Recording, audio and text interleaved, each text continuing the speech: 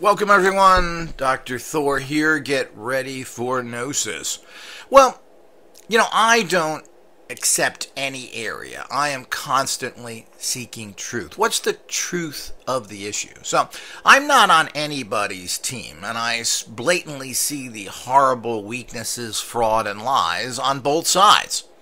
Uh, you have the um, dumb bunkers, idiot skeptics uh, who just live in goo goo science, uh, kindergarten realities. And of course, you have the parapsychologists who are also living in their own personal contrived fantasy to a large degree.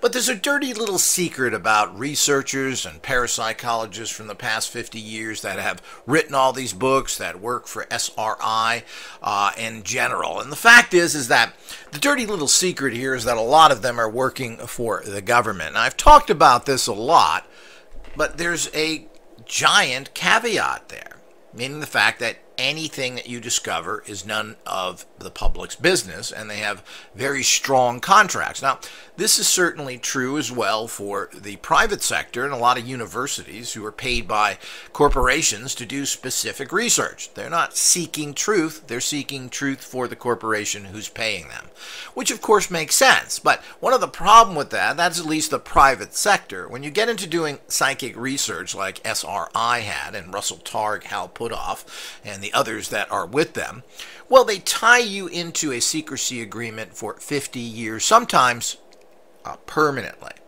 Some of the research done by um, Dr. Flanagan, Patrick Flanagan, on um, dolphins won't be uh, released to the public for another 10 or 15 years. This was done in the 70s and 80s.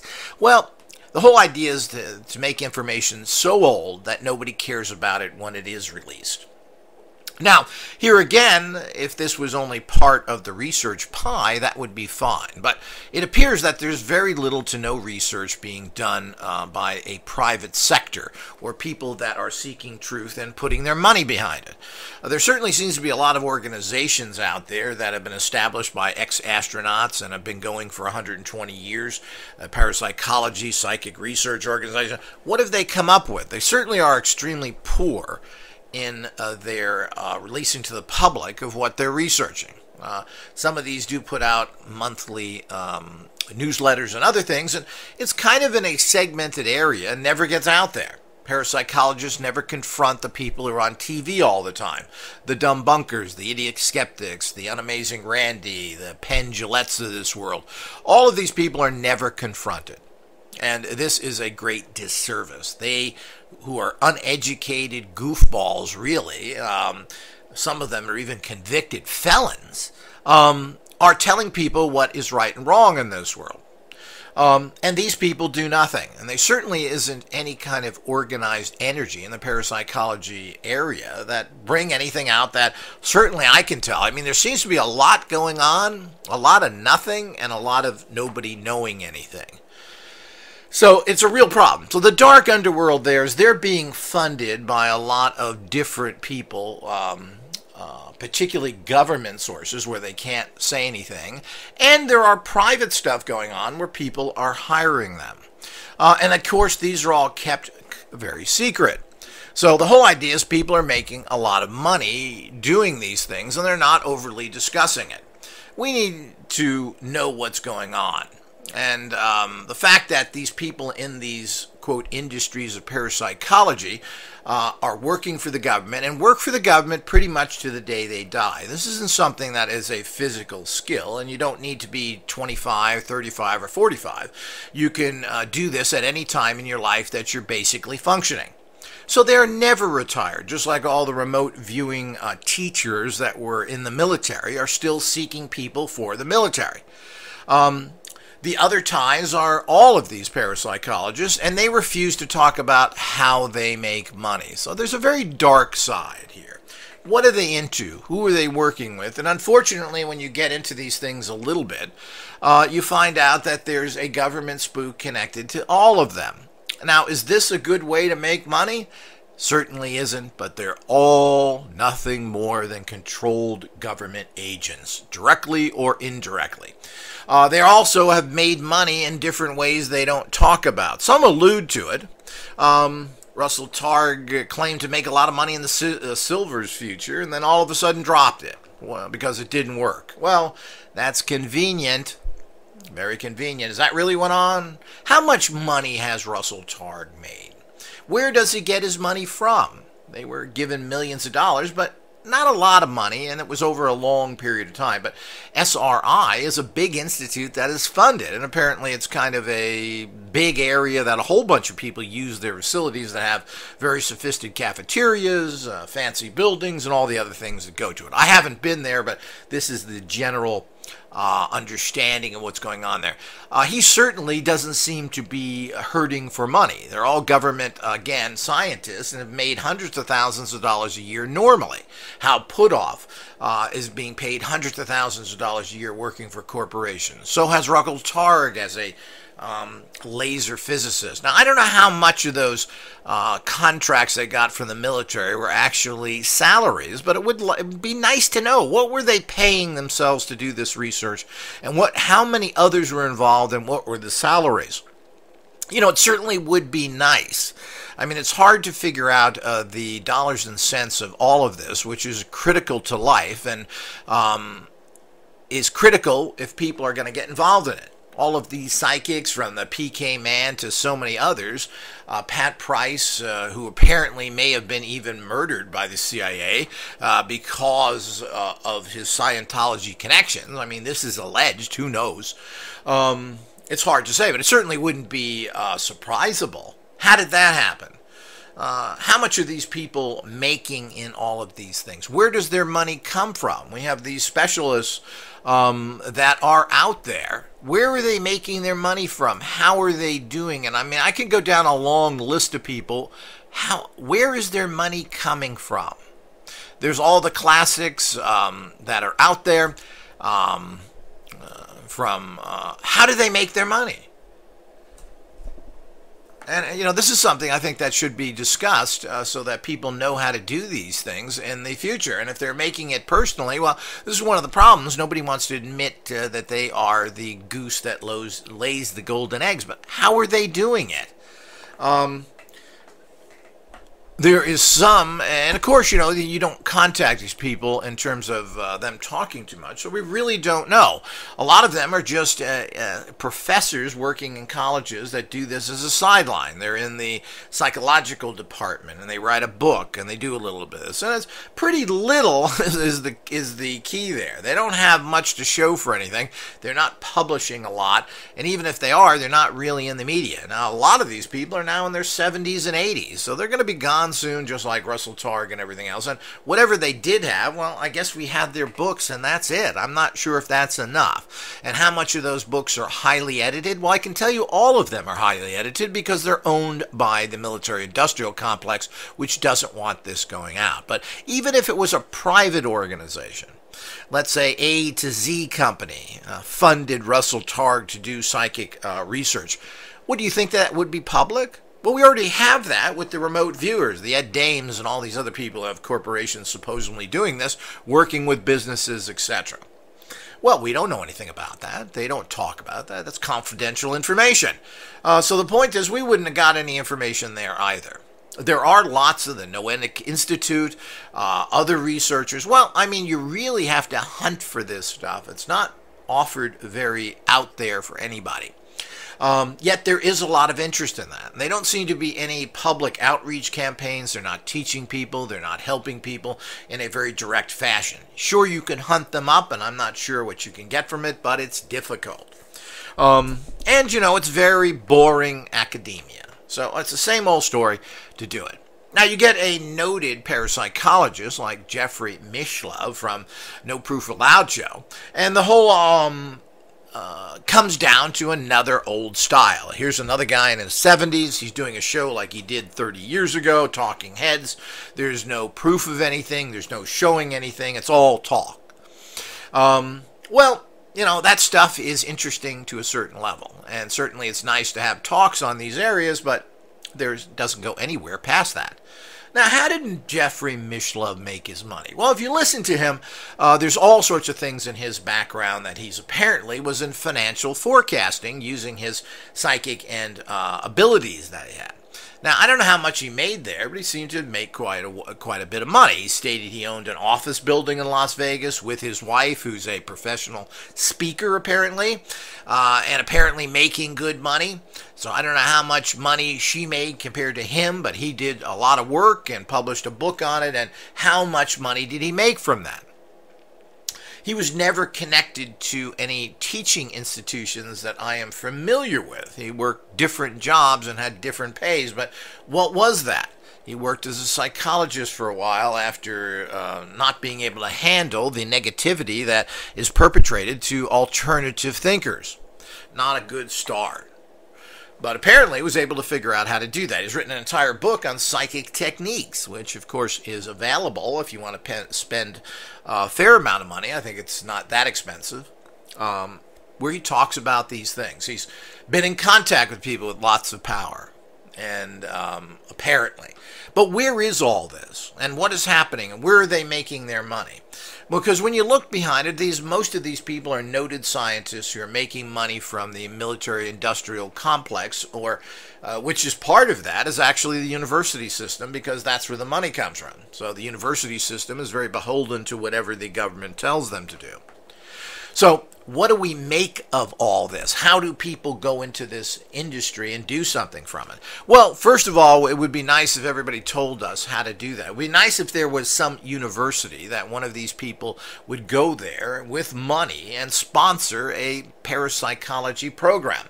What happened to the Rhine Center? You know, it still is an operation. Why isn't that a hub of people getting degrees in it? The only degree program that I'm familiar with is in the University of Edinburgh in Scotland, which has a fund uh, from the late great uh, Arthur Kessinger, uh, who left uh, a bunch of money to start that. And nobody would set up a parapsychology department except this one college. And um, I'm not sure what they're doing. Uh, from what I can see, they do have courses. You can go there. You can. I think they offer a degree if you want to uh, go through that arduous program of learning all that. They also have some pretty negative skeptics involved with their organization, which I disagree with, um, especially if they're in the team. You want to invite people in, you want to get their opinions, great. But to be part of the organization, to have a trickster in there of no credit whatsoever except that me no magic, um, theater magic, well, I don't think that's good enough, so I have a question with them. But there are out there, and there certainly are lots of courses being offered all around the country uh, on ghost hunting, parapsychology in general. There are these things. And there was even a book published in the 70s which listed them all at that time, which was quite a bit. Well, why has this not been rebirthed anywhere? I mean, there certainly is a great interest in this. There is a great awakening new amounts of people, large amounts of new people, are involved in all these things which would love to get involved with it. These people involved in all these uh, colleges are doing absolutely nothing, and there's really no clear path for anyone. So they are part of the bigger problem, and their uh, secrecy, their behind the scenes working for others so that they put bucks in their pocket, their lack of transparency, their lack of getting out there and establishing organizations is really sad. Um, there's also a huge problem with all these and they, they state because that's how they make their money. Well, I was in the military and remote and learned remote viewing. Well, these people are working directly for the government to find remote viewers so the government can use them. My question there is is why do they need them if we got all these geniuses to begin with? Uh, that are doing everything so great. The Ed Dames, the Joseph McGonagalls. Well, I thought they were so great. Why do we need more people? Apparently, they're always searching for more suckers they can use and for the general population uh, to bow over to them for the good of the world while they use and abuse you. Um, all of these things are something that nobody gets into, and nobody even really talks about this. I mean, you have all these parapsychologists, they're putting on the same kind of stooges, liars, and government agents, and have nothing to say about it. Now, whether you want to put these people on or not is uh, something that can be argued. And uh, yeah, I think everybody should have their say, but in a forum that's a little more objective than, oh yeah, aren't you right? Aren't you a great military guy? Well, I don't think that's the case at all. It's never talked about secrecy. They never talk where this information comes from. They just come there and spout their trained uh, CIA brochure that they tell everybody um, so that they can set up organizations, make money, and of course, find talented people. None of this is ever breached because these people are part of the industrial military complex themselves. And they're afraid to talk about this because they're going to get blacklisted. So this is one of the problems, which means they don't make no money. But why are they making money in this area to begin with? And if somebody is so empowered and they have all these abilities, well, why are they spending all their time teaching and why aren't there more notable successes? Meaning the fact, you know, if you're so good at remote viewing, why don't you have or have made a whole bunch of money from it? Do you have to teach classes and charge $2,000 for them? Well, that's what they do. And I'm not sure that that is a a good answer. You like teaching, you like to spread the information. Well, I think people should pay a fair price, but I don't think thousands is a fair price uh, to pay if this is just kind of something extra for you. But you want people to pay a good price so they take it seriously. So I do understand that. But some of it I think is quite expensive. Uh, considering this area of study, especially if you're so rich. Are they getting richer and richer? And why aren't they applying this themselves? Always the big question. So apparently a lot of them are, and you're never going to know what's going on or how much money they make. It appears that Jeffrey Mishlove is fairly wealthy. He should talk about that. How did he make his money? Well, apparently, um, his wife is a professional speaker and, and, apparently makes good money. As I mentioned, he owned an office building in Las Vegas. He owned it personally with his wife. He stated that. So so this isn't just renting space and having income. The guy's buying buildings. So this is something that we should really note of, you know, where did that money come from? How did you make money? And he doesn't talk about it. I mean, he has these little things and he talks about forecasting. I believe he has a book or two out on that, um, which is difficult to locate, um, and even has a website. Well, I mean, he never talks about that on his uh, show. Why? Why are you not getting into the dollars and cents of things? And uh, to think that this doesn't have value and that this isn't important is really missing the whole point. If we're going to get anywhere, we have to make sure that everybody understands how valuable this can be to you.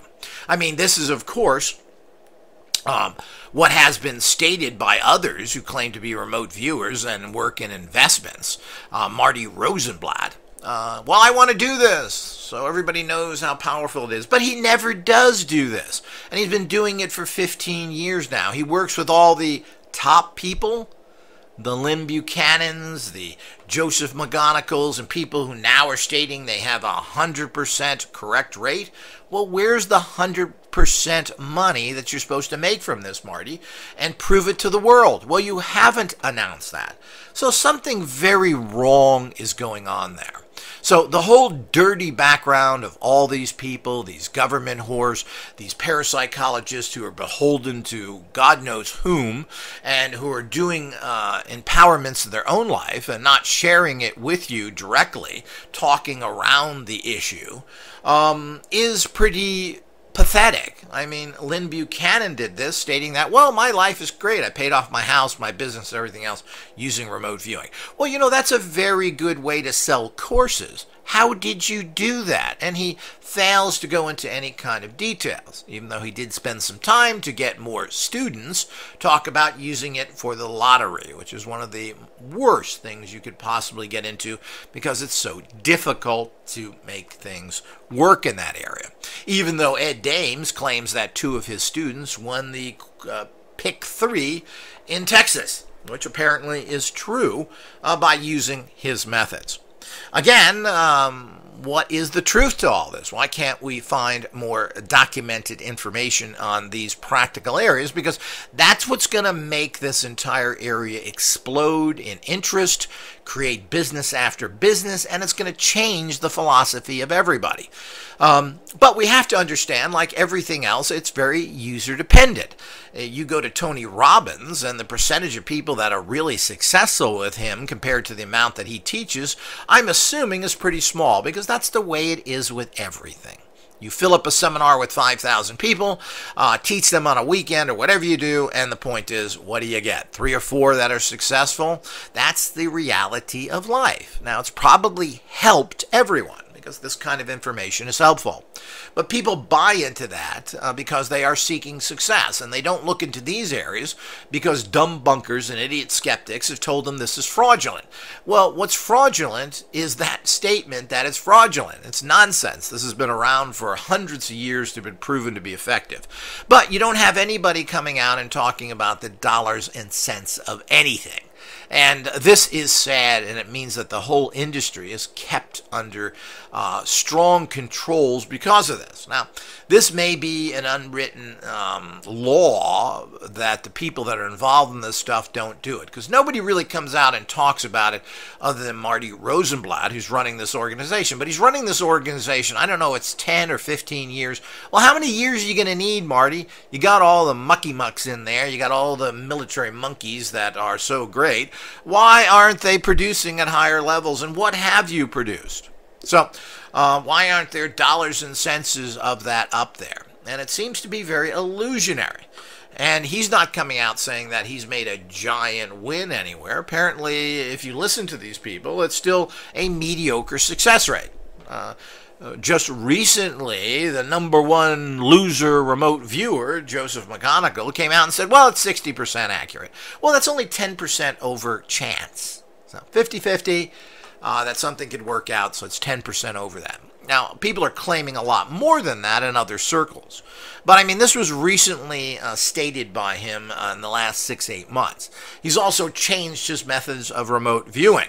So the number one guy ain't using what he used in the past because it wasn't good, and um, we're not getting really any hardcore information from them. They're not, you know, why is he working in places? Why is he giving courses as much as he is instead of saying, well, you know, we did this or that? Now, I think there is an unwritten law there, and maybe he can't do it, but a lot of other ones uh, can. And the point is, is that uh, they are bringing these things into their discussions to get students, like Lyn Buchanan does. He certainly talks about this and talked about the lotto, um, of how people were working on that and um, and so forth. But he's not giving um, enough clear data in that area. And when you don't do that, you're not going to get interest. Let people come in expecting to do in that well in that area and then have the proof of performance. It ain't there.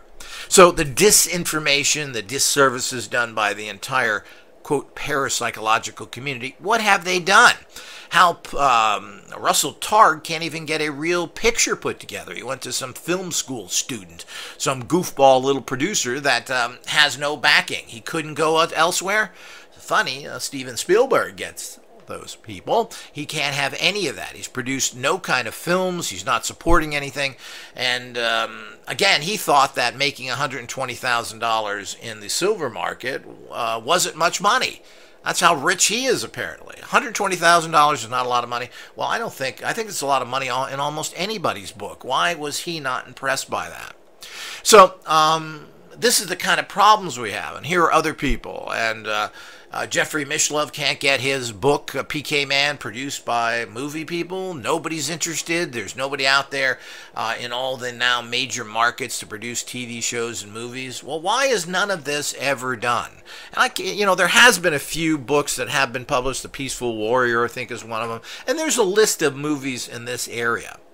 Um, there's also people who put out um, What the Bleep uh, that was done by a, a, very fascinating, excellent documentary done by uh, basically a channeler who built her own organization and put her own money into that. And I believe she made good money from that. Um, J.Z. Knight is the person who did that. Well, where is it? How come they can't do it? How come there's nothing in the Paris? They're not in the. You know, if you think uh, if you think that Talking Heads and the little show that Jeffrey's been doing for uh, like 50 years now. Um, started out on uh, goofy and still goofy uh, public uh, television networks. Apparently not PBS, but some sort of public thing that his little show was on. And I'm assuming he was getting some money for that. I'm not sure how much, but he was being paid for it. Everybody has to be paid. Uh, it's the only way you can get by, and you have expenses. So that little show that really nobody saw and are not seeing today, now with uh, the internet, with uh, YouTube, he has a huge audience that he never had before. Um, but it's very dry, boring, undemonstratable uh, talk. And while it's interesting, uh, it to a, a certain extent becomes very boring because there's really just talk. It's just lore. There's no photographs, there's no demonstrations, there's no nothing. It's pretty sad. So the whole idea is that we need to go past that, and these people do have resources. They can do things, and they've done nothing. And they need to start to put together some place where they can work and, you know, get things out to the media. Well, the media are whores. Show them good stuff and they will produce it. There's endless cable shows out there where people are now showing this stuff. Why is none of this ever done? Why aren't there more specials? People love it. Why? Well, that's a good question, but it's answered by the fact of the incompetency and the control of this entire industry. And parapsychologists or teachers are the worst people to be involved in something that needs to be businessized. We need to turn everything into a business. That's how things start to grow and expand. If we turn the pyramids into the next Disneyland of Egypt, they would have all the money they need to do everything they need there, and it doesn't hurt the structures there. A matter of fact, they're being hurt because there's no money to preserve them. Uh, things could be coated. You should have restaurants there. There should be a cocktail lounge that is over the pyramids where you can look down on them. Why not? All proceeds going to the empowerment of that entire research. Uh, Egypt should have more archaeologists than any place on the planet, and there should be endless funds to do that with. There is nothing. Nothing is turned into a business, and as such, it is never successful. Business makes things good. Business does not hurt them. When you have money, you make better decisions and things happen. When you don't have money, you're corrupt and produce exactly what parapsychology has produced today. And that's nothing. Until next time.